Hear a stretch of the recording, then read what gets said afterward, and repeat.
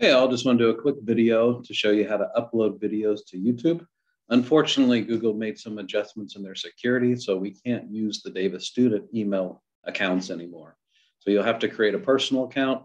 If you're not old enough to create a Google account, uh, your parents will have to help out with it. Um, but to, to do it, you just go to youtube.com. Um, you got to make sure that you're signed in under your Gmail account. So I'm signed in under mine. And then I click this create button and upload video. And if this is your first time ever uploading on your account, you'll see this um, shows how you your name will appear for your channel. You just click create channel and it goes right into the creator studio once it creates the channel. Okay, so to upload a video, um, you just click right here, upload video. I already have a test video that I've made. Um, so if uh, you could either drag it on or you can search for it, I'll go ahead and search for it on my desktop, which is right here.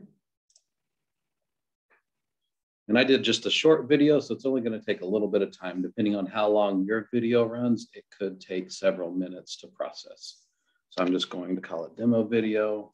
I could add a description here.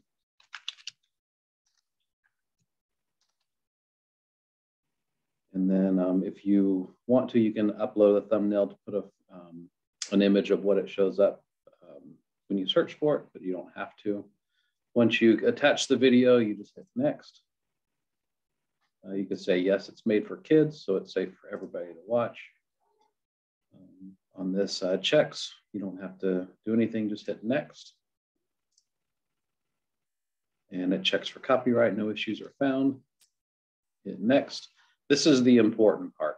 So you don't want to make it private or only the people you give access to will be able to see it. You want to make it unlisted so the judges um, that look at your video will be able to view it. So you select unlisted and then you hit save.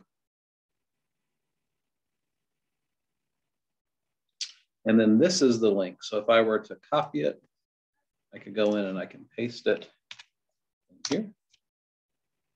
And right now it, it actually shows up. So there's my, my video, demo unlisted. And then you'll just take this and paste it right into STEM Wizard.